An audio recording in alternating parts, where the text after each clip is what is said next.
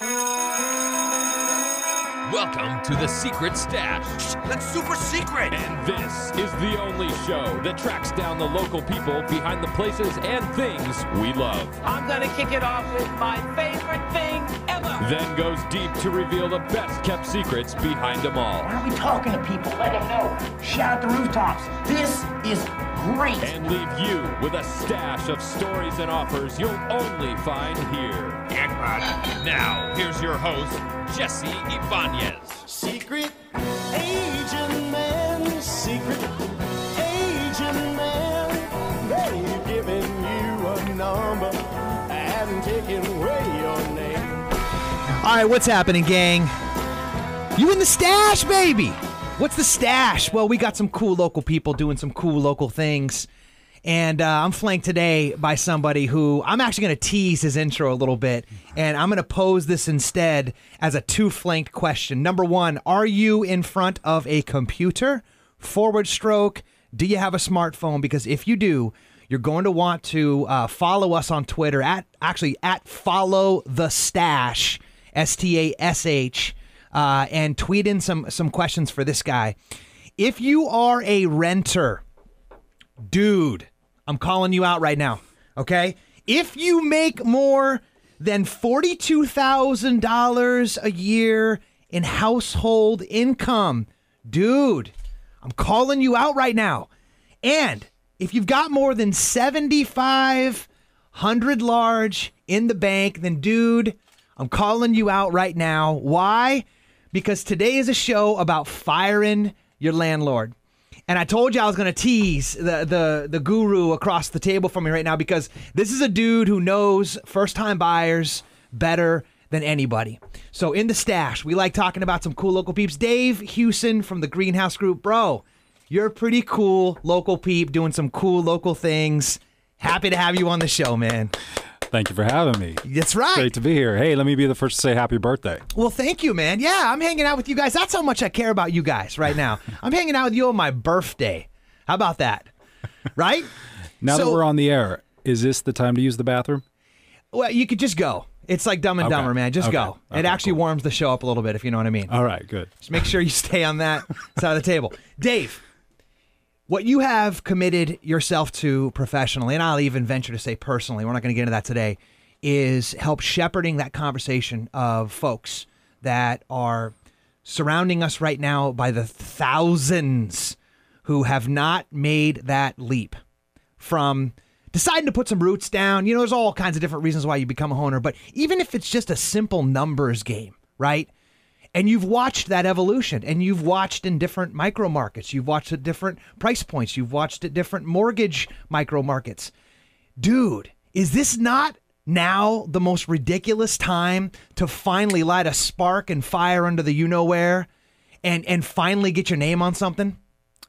Yeah, we are currently at you know interest rates that are as low as they've been since the spring of 2013, which was their bottom, and we see you know I or I see personally a lot of people who don't think they can afford to buy a home in a place like San Diego because they just assume it's too expensive. Because they get they see the, the headlines on the news are like, dude, San Diego, one of the most expensive cities, right? But we're going to talk about today how that might be true, but dude, not necessarily. Like, there's still a ton of properties for sale, incredibly affordable.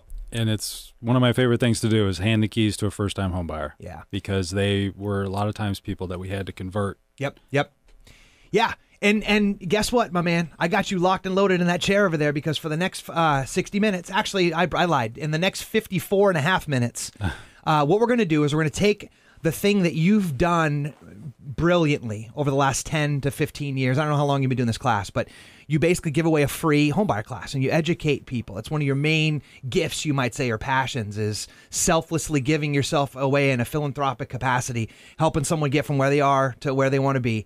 And, and you do that through that module of the free first time homebuyer class. By the way, I mentioned the Twitter handle. Also, write this down. It's actually it's free home buyer class webs w-e-b-s dot com right there's a little form on there a quick little primer i think you even have a couple testimonials of some folks that have gone through the class to get your name on dave's next class he does them every wednesday usually about what six at night Six o'clock. yeah six o'clock at night doesn't take more than what 60 90 minutes right 60 minutes. 60 minutes. And if you got some questions, you probably stay a little late. I know you always do that, but you've got to check this out because I'm not even going to tease it anymore. So basically, we've, we've broken down his entire class into four parts, okay?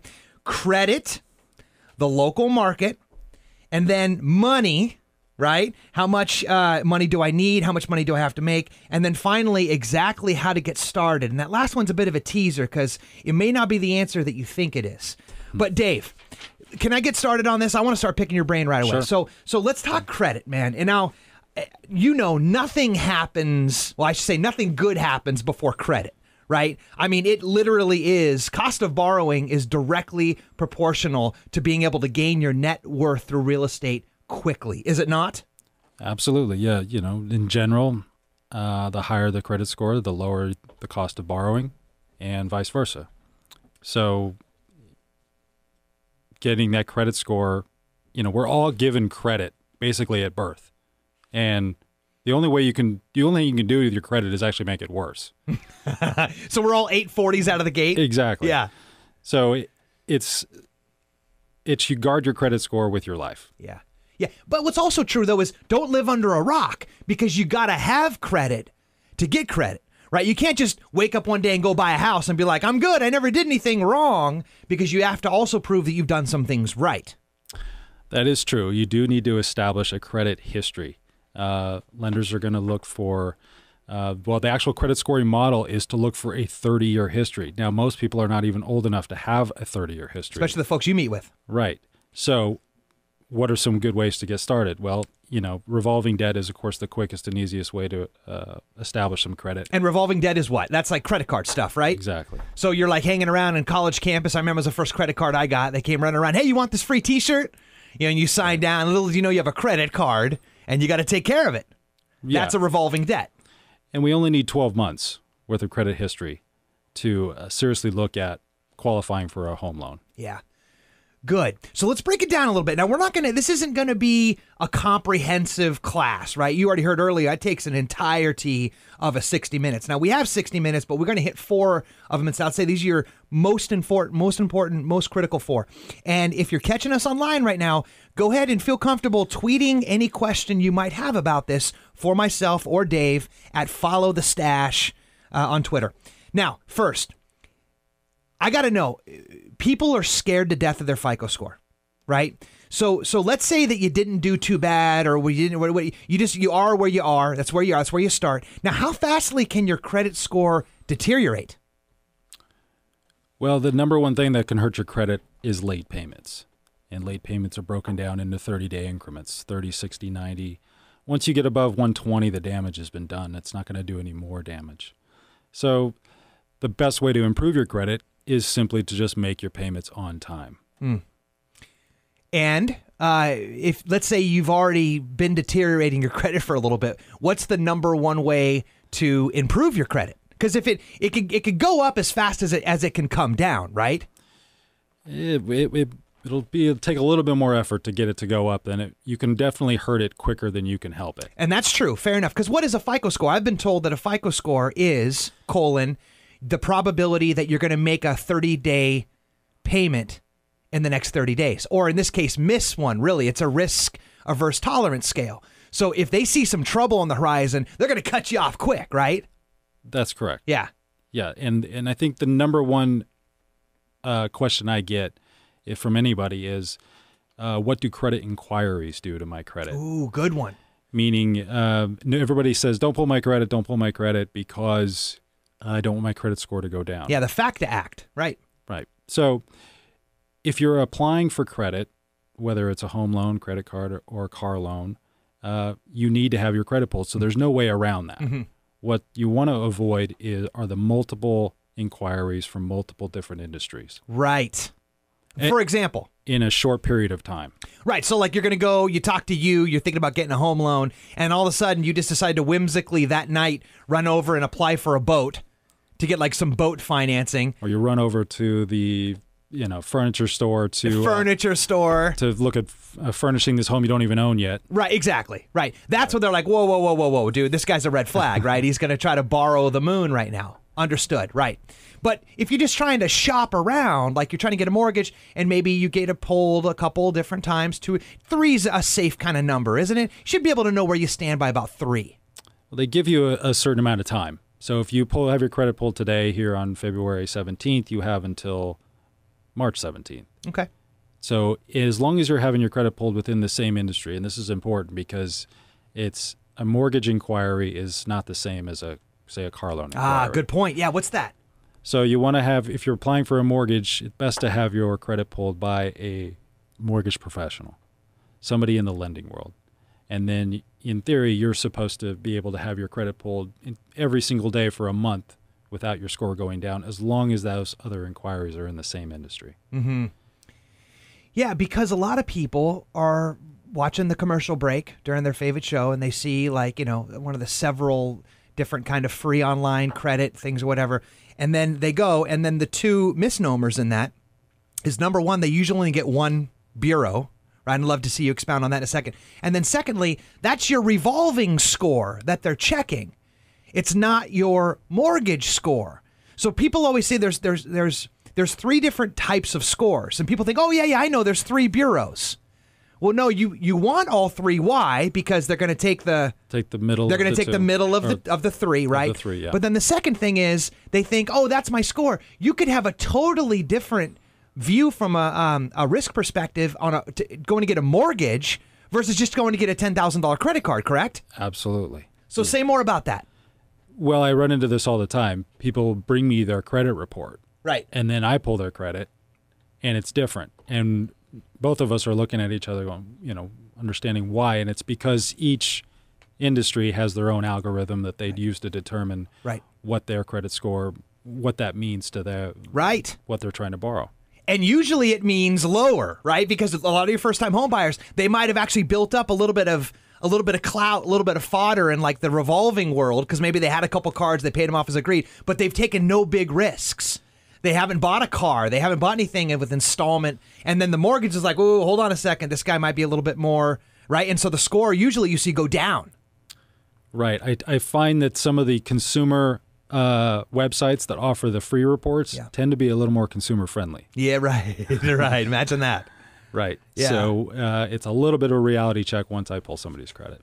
Good, good. So, so we talked about how quickly your credit can deteriorate. Obviously, make your payments on time, right? The ones that you got. Otherwise, the you're going to feel the floor fall out from underneath you because they're going to be like, whoa, whoa, whoa, hold on. This guy is a much higher risk of not making his next payment. So, boom. Second thing is there's three scores, not just three bureaus. So there's three bureaus. You're going to want all three because you're going to take the The middle of the middle three. of the three. That's, their quote unquote credit score. And then there's also three different scores. So you got to make sure you got to know that if you're trying to get a mortgage, you got to go to Dave and have him pull a mortgage score. You're not going to get a mortgage score from the online free profile, right? So so talk to me about numbers. So let's say I go and I pull it with you and and I'm at like a 600. Where do I live inside of that family of numbers and is that high enough to be able to get a, a mortgage through you? Uh, the short answer is yes. The 600 is a high enough score. Um, currently, mortgage credit score uh, have run in 20 point increments. So it Okay. starts at 580, 600, 620, and goes all the way up to 740. So meaning because it goes lower than 580. I know because I started with a 510 first time I ever pulled my credit. You have to try to get a 510. Adrian, you might be the only one who's got a worse credit score than 510 that I know. And he nodded his head yes.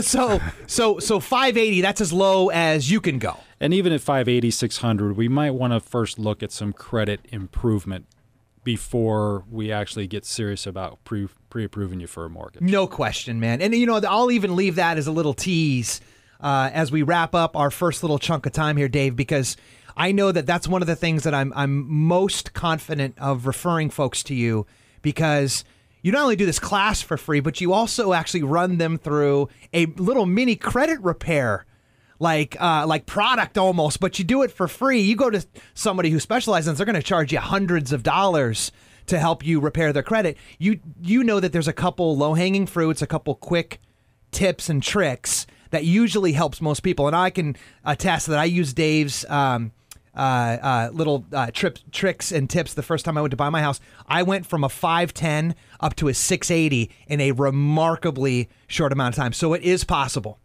That is true. Yes. Coming up, we're going to talk about the local market. And, you know, it's interesting because the amount of homes that are available for $250,000 and below and how much money you need to be able to purchase that might just knock you off your stool. So you're hanging out in the stash, baby. I got David Hughson, mortgage planner, first time buyer extraordinaire, and we'll be right back. Be sure to follow the show on Facebook at Jesse's Secret Stash and on Twitter at Follow the Stash. Put your hands in the air. You are listening to The Secret Stash with host Jesse Ibañez on ESPN Radio 1700. Hey, what's happening, gang? You in the stash. We got your lunch hour. We got some cool local people doing some cool local things in the stash. And uh, today, I'm flanked by my man, David Hughson. He is a first time homebuyer expert. He's a mortgage planner and he works at the Greenhouse Group. And uh, what we're doing today is we're breaking down his free homebuyer class, which, by the way, you can get at at freehomebuyerclass.webs, W-E-B-S dot com. Sign up for, I think it's every Wednesday at 6 p.m. He does it right there in his uh, Greenhouse Group headquarters. We're breaking down the, the four most elemental, fundamental things that he talks about and gives little teasers and primers so that you can find yourself in this conversation. If you're renting right now, man, I can't implore you enough. I have never seen the relationship, the threshold, you might say, be so low to get into your first home than what it is right now. So, first uh, clip, we talked about credit. And uh, you're welcome to tweet in any questions you got for myself or Dave at follow the stash. Dot, I'm sorry, follow the stash at Twitter. And uh, my man Adrian, producer, will read them live to us. And we'll try to get them all uh, uh, answered. Dave, let's talk about local market. Okay. Yep. Now, what's going on with the inventory right now? Well, it's getting better, and that is um, always good for buyers. Uh, what we're seeing is sellers are more willing to negotiate on terms going into contract, which also it can only benefit buyers from both um, the purchase contract terms to the financing terms. Good. Yeah, and which is interesting because inside the vacuum of the fact that this has been a dominant, a seller dominant market now for God about as long as I can recall. I mean, I got to think back to like when we just came out of the bust and they were throwing around all those tax credits and stuff like that. I I can recall, man, that was about the last time that I firmly felt the pendulum was over towards the buyers and inventory being so low in in a lot of the hot markets there's more buyers than there are sellers but it's finally starting to repair itself um, for example uh, right now i think there's about 11 a little more than 11000 homes for sale in san diego county and that's up because just a little while ago we were under 10 it was like between 8 and 9 oscillating around right there for the holidays so with the spring is starting to kind of you know, uh, reinvigorate the market a little bit, and it's happening earlier this year. Have you are you noticing that as well? I noticed we didn't have a winner. We really didn't, right? In more ways than one. Hasn't quite rained that much either. Right. Yeah. So so would you say that inventory is getting a little better, but it's still largely seller driven? It is, yes. Multiple offers, Yeah, that whole thing. You're going to be, you know, it's it's not uncommon to be in a slugfest out there as a buyer. Right. So so why why wouldn't they just put their gloves up and say, you know what, I don't I don't want to be part of a bidding war. I'm gonna I'm gonna I'm gonna stop. I'm just gonna I'll wait for things to to figure themselves out. Why would that be? Ah, maybe not their best option. Well, uh, first thing that comes to mind is anybody that's renting right now is seeing the their rents are always going up, Especially right now. and especially right now. And when I mean right now, I mean within the last you know six to eight weeks, we've seen uh, people's purchase power um, grow to the same limits that we saw, which was the best in the spring of 2013. Mm-hmm. So it as a buyer, Yeah. you could argue this is it's never been better.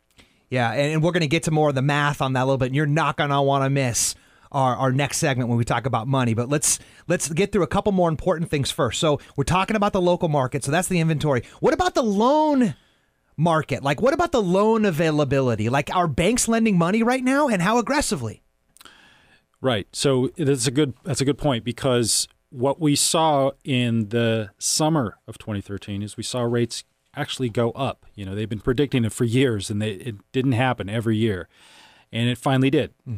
And the ripple effect through the lending world meant that, of course, the first thing to go are refinances. Right. So banks are only interested in one thing, and that is lending money To people that are going to pay them back. yeah. on time. yeah. So what that means is lending volume is way down. Hmm. So banks don't care if they're lending money for pur- purchases or refinances. They just want to lend money. So Right. they are looking for any way to get that volume back up. And these, you know, they make small enhancements here and there, but you uh, you accumulate enough of those enhancements, and we finally have a more favorable lending environment. Now, a lot of people are still claiming it's not very friendly, and they're they're they're they're right about it. Those are the same people that walked back and forth to school in six feet of snow, though. I mean, come on, it's never been this friendly for for a while. Yeah, it's when when we're talking about the minimum down payments and what that minimum income requirement is, uh, it hasn't been better. I can't wait to talk about that. I was blown away by some of the math you were sharing with me too. I mean, it's crazy.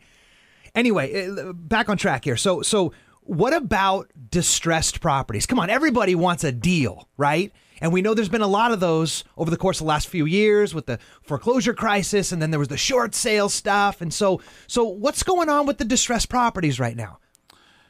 well, we've seen a lot of them get cycled through. Right. That was huge back in 2011, 2012, and the first part of 2013. And it seems like a lot of the distressed properties have been have now been bought and sold. And I think they said it was uh, locally anyway. We're back to sort of pre-bust numbers. yeah, and you know, it, I think 2012 that's all we did were distressed properties. No lie. and then now we're back to certainly doing overwhelming majority is conventional sales. Yeah. Now, Traditional sales. Traditional Yeah. Yeah. Uh, the distressed properties are still out there, but they're few and far between. And I would even venture that when they do come up, you know, the poor starving sharks that are swimming circles inside of a 60 foot gallon fish tank now, you know, it's like when one pops up, they're like, ah, and they, they try to, they all cash sharks try to go gobble it up, which makes your kind of client, the first time home buyer, a little challenged, right? Because when it's a distressed sale, they, they typically want to defer to the best terms available, even if it means taking a smidgen less money, do they not? Uh, yeah, there's always a cash discount. Yeah, the cash discount, you And- betcha. We see that uh, distressed properties, you know, a lot of times they're not even financeable Mm-hmm. because Right. the banks who want to get rid of these homes if it's a full foreclosure on a home um, are the same banks that won't lend money to somebody to buy it because it has to be essentially move in ready. Yeah, and they can't be like floors missing or holes in the wall, which of course is you know which a lot of those end up being. So last on my my my list of questions, I wanted to ask you, uh, how do you know when the right time is to buy? Like we're throwing around these numbers about being a renter right now, and trust me, if you are a renter, please do yourself a favor. Come back around after this break, and we're going to talk about some numbers. But before we go, is there a macro part of this, or is it all just individual? Well, it's both. Macro is what are the what is the market telling you? In general, what are the numbers telling you?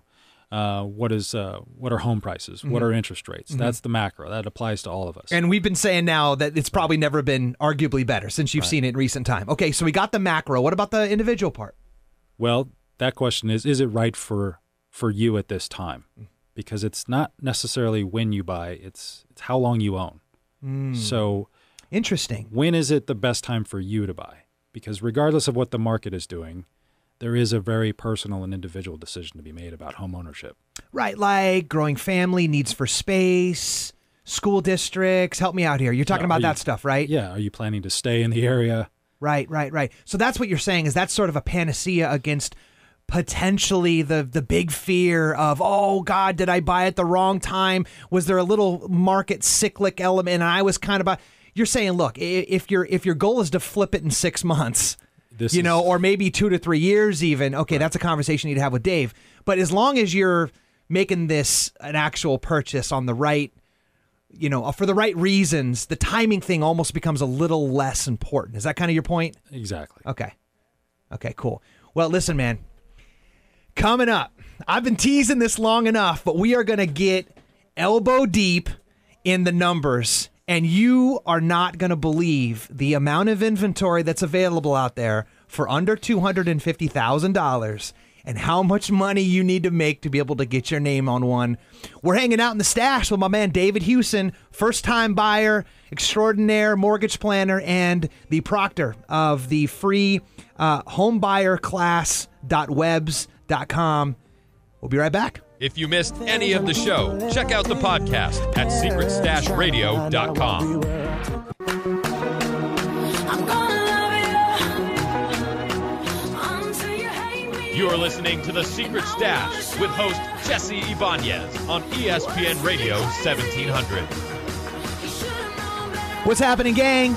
You are live in the stash, and we talking first time home buyers today with a guru in the first time home buyer game, David Hughson, mortgage planner, proctor of the of San Diego's soon to be most popular first time home buyer class, which you can sign up for yourself at freehomebuyerclass.webs.com. And also, if they want to learn more about that, you, you got a free recorded message set up too, don't you? That's right. And that number is is toll free 888 uh, 484 3657, I think, right? That's 888 484 3657. And the extension you have set up is 619. That's right. You can remember that because you're right, 619 area code, right? That's right. Clever little son of a gun, you. I grew up in the 619. The 619? Does that mean like you, you got you guys say it like that? That's how we say it now, yeah. Yeah, okay, good. Not when you were a kid, though. Right. Then you would have gotten balls thrown at you or something, right? Okay, cool. So we started off the show talking about credit because nothing happens before credit, right? Gave you four quick hitters on that. And we talked about the local market. So where is the credit meeting the real world? And that's, of course, you know, available homes out there and then also available money to be able to borrow. And now we're getting to the good stuff. So let's get, I want to get right into this. So Dave shared with me some of the math and the numbers and the research he did. I wanted to know, and I asked him, I challenged him and said, Hey, Dave, listen, if you're a renter out there, let's not go for the moon. I think average home prices in the four, 500,000, somewhere out there. let's just, let's drop it down. Let's say 250 grand. Okay. I did the research and I found out there's 3,546 homes that are for sale in San Diego County at $250,000 or less. Dude, that's crazy. Yeah, I'm surprised to hear that number too. Because you think about it, there's only 11,000 someone. That's 32% of the inventory in San Diego County for sale available for two. So there's there's plenty of homes. So you can't tell me that oh there's nothing for 250. There totally is. So what's the lowest down payment I've got to have to be able to get my name on one of those? Uh, 3% down, which is 7,500. Okay, so all I got to do is have 3% down. The bank will give me the rest, and that comes out to 7500 bucks. That's right. Dude. Damn! Are you kidding me?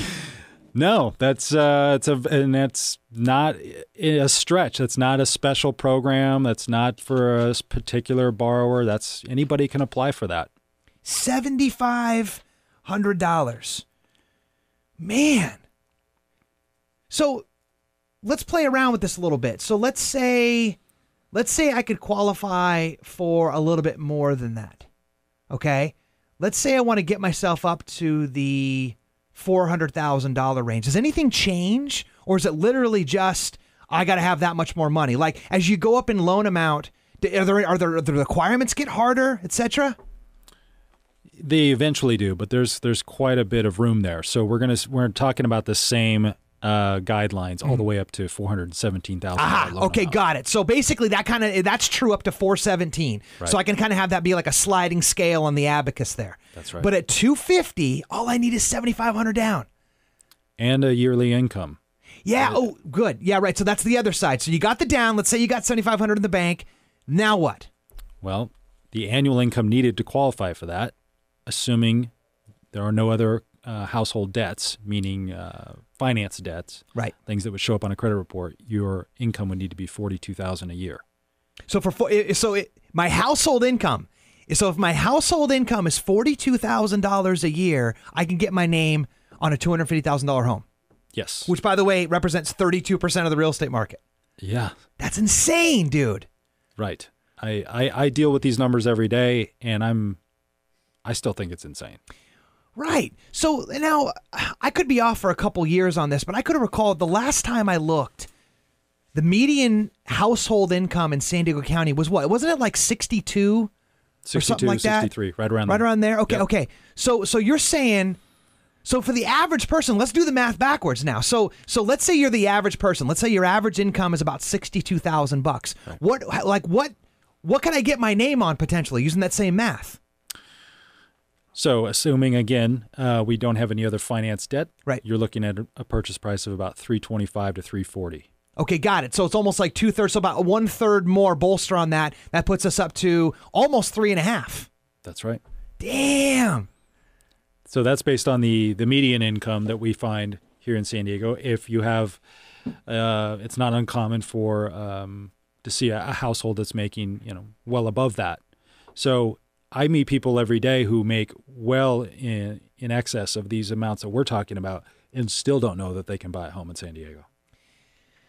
I'm not surprised to hear that, man. You know, people are uh, st- they, they allow themselves to be stunted by hearsay. Would you agree with that? Absolutely. Right, and like I, we said earlier in an earlier segment, like that that that stat gets thrown around on Facebook or wherever you're finding it, saying, "Oh, you know, we're the second most expensive in the in the in the country." Which, hey, I guess that's true. But how crazy is it to juxtapose that and say that there is a, an enormous opportunity, and all you got to do is have a household income of forty two thousand dollars per year. Have good credit and we talked about that and you've already got their backs on that because you got that credit thing you do for them for mm-hmm. free. They come to your class they get signed up for that credit thing. in what? A couple months the average person can have a nice little boon on their credit score just by looking at it and all you need is a 580 to do a deal in the first place how low could this bar be to get into your first home Well, what it means is that there are a lot of people out there who qualify who don't know they qualify. So it is a matter of taking a look, and it doesn't cost you anything but your time to do it. yeah, shining a light on it, right? And what you focus on always tends to increase. So, you know, even if you are in that bucket, it sounds like the next best option, if option number one ideally would be, hey, you go and get your name on something right away because you heard this show, you went to Dave's class, you figured it out for yourself. But what's the next worst case scenario? Oh, you come up with a plan and it takes you a couple months of some hard work and you get yourself fixed back up and then you can reintroduce yourself into that conversation. Let's let's flip it on its head a little bit though. So what's occurring for me right now is maybe people don't have that context. Everybody though listening who's a renter knows how much they pay for rent, Yep. right? Adrian, you just moved over this weekend, right? So you know exactly how much you're paying for rent. Everybody has that m- number memorized. So if you were going to go backwards, like what would that be the equivalent of in rent? So 250 with the minimum 3% down. Yeah. You're looking at a total house payment of 1850 a month. Okay. Now that's and that's including taxes and insurance and and I'm even including an HOA payment in there because Oh, I wow. because I realize that that's a you know our entry level property type here in San Diego is a condo. right. So every condo there's an unavoidable fact that you're going to be paying HOA dues. So I'm Right. even factoring in three hundred dollars a month for HOA. Wow, dues. that's even with 300 bucks a month HOAs. right. And there's a lot of HOAs out there that are sometimes 250 or even 200 a month. Correct. Yeah. So, you know, once you do the math on the net payment compared to what you're paying in rent, and when I say net payment, I mean the net payment after the property tax deduction. Okay, you- good. Assuming some things, right? Because you're not a tax guy, but Right. Then you're looking at more like a payment of fifteen seventy five a month. wow. So if I'm hearing you correctly right now, if you're paying more than 1575 in rent right now, what would be a two two bedroom? I mean, uh, um, a hundred two hundred fifty thousand dollar home, excuse me, is probably the equivalent of about what of a two bedroom condo, right? Yeah. Let's just make that assumption. Depending, of course, on the area. Some areas that's not going to get you anything. Sounds about right. Some could maybe even get you even more if you're a little bit further east. But so if you're paying more than fifteen seventy five in rent right now, and on a two bedroom, you have got to take a look at this. Do you not?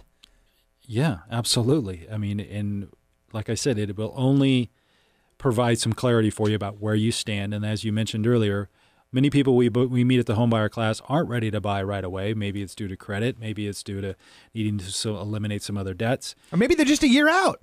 yeah, they're just a year out. And but what happens is, what we know for sure is that year is going to happen anyway, right? Right. Might as well get to the end of that year, have that plan in place so that when you arrive 12 months later, you're in the best position possible and you hit the ground running as opposed to starting the heavy lifting at that point. And if that message is finding you right now, Dave, how can they get their name reserved for your next homebuyer class? Visit the website, freehomebuyerclass.webs, W-E-B-S dot com. Uh, we have the class every Wednesday at 6 p.m. We used to do it on a larger scale and advertise and get a bunch of people in a room a few times a year. And what we found was uh, we had a room full of people with a ton of questions that we never got to. And we had a lot of people leaving, uh, well, I guess a little dissatisfied because they didn't leave with the clarity that we promised them when they showed up. So we scaled it way down. We do it every week. Yeah. We keep it small and we uh, get everybody's attention uh, or we get everybody's questions asked by the time we're done. I love that thought. And coming up, the final piece of this puzzle how in the world you could get started. And it might not be where you think. We're in the stash with my man David Hughson, first time buyer expert, and we'll be right back. If you missed any of the show, check out the podcast at secretstashradio.com. Welcome back to the Secret Stash with host Jesse Ibañez on ESPN Radio 1700. Hey, welcome back. You in the stash. And we got your back renters of San Diego with your rents raising, right? This is the one about firing your landlord and getting your name on something before this little blip on the radar, this little epoch uh, of man time becomes a history. And that is how to get your name on something and make it super duper cheap. I'm flanked by my man David Hughson. And uh, we spent the last hour talking about credit. We talking about credit. We talking about credit. the local market, how much money I need, like as a down payment, and how much money do I got to make.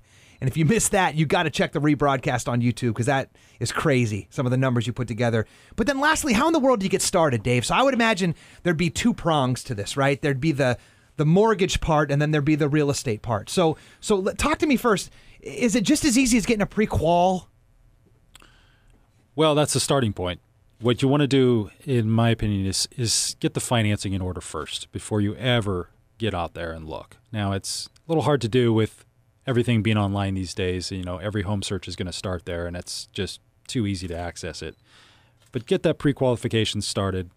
See a mortgage planner first, and then once you figure out your purchase power, then you can start your home search Because because it's a it's a universal law that if you don't see a, a mortgage planner first, you're setting yourself up for some disappointment. because you're going to get ruin yourself, right? Because everybody's going to be looking around, you know, on the fancy websites out there on stuff outside of your price point. Then you're going to get the doomsday anvil dropped on your big toe that you're down in. Th- right, I get it. Makes a lot of sense. So yeah, everybody's going to start by looking online. That's just the way. It's like going to the mall. You're going to start by window shopping. Mm-hmm. But as soon as you've made the decision that this is a even simplest iota of something that you want to try to accomplish, get yourself in touch with Dave Hughson, mortgage planner, greenhouse group. And you know what? I'd even recommend go to his class where basically he takes everything we've talked about today, but goes into detail and be able to answer any questions you might have specifically about your situation. I guess ones that you'd feel comfortable asking in a small group format to make sure that you can get the clarity for yourself, right? So in order to do that, Dave, they go to freehomebuyerclass.webs.com or or they can they can ta- they can call that that uh, free recorded message that you got right. I think that's That's right. 888 484 3657. Again, that's 888 484 3857 extension 619, right? Like the area code, Yep. baby. Good. So good. So in that concept of what you do is called a mortgage plan, not just some online thing that you put in a couple numbers and you get something printed out, right? Why is that so valuable? Well, the mortgage plan is a starting point. The pre-approval is what comes next. Mm.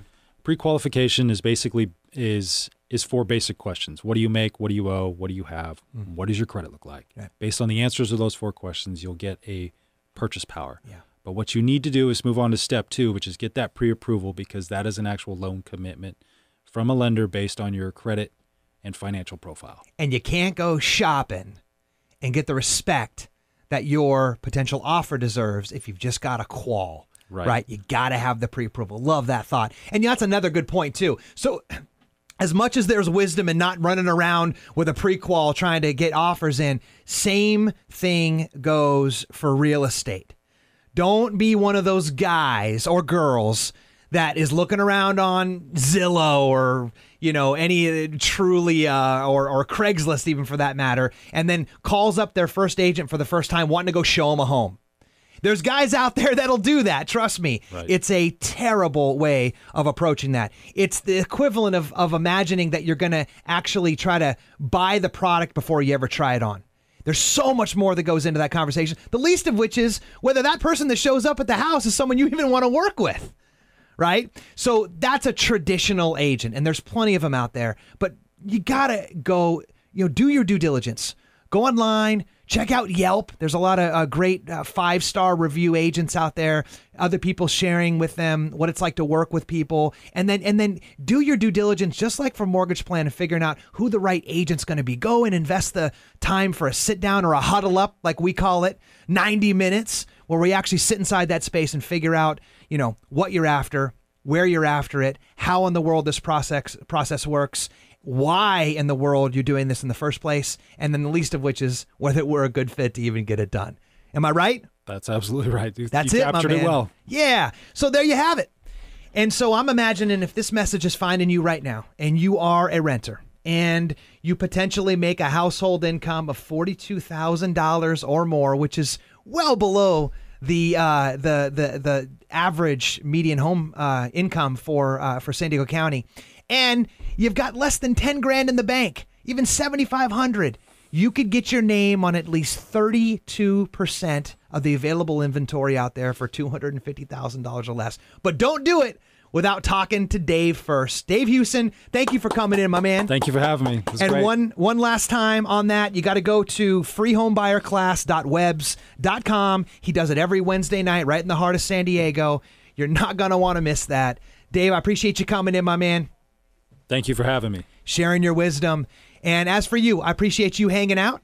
This was uh, The Secret Stash. We'll be back here next Tuesday at noon with some cool local peeps doing some cool local things. We'll talk to you then. Thanks for listening to The Secret Stash. If you missed any of the show, check out the podcast at secretstashradio.com. And we'll be back next Tuesday at noon right here on ESPN Radio 1700.